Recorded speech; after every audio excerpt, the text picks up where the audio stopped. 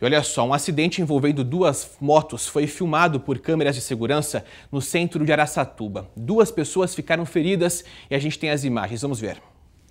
É possível ver quando uma moto conduzida por um frentista de 24 anos avança o sinal vermelho e bate em cheio contra outra moto em que estavam mãe e filho. Todas as vítimas vão parar no canteiro central da rua.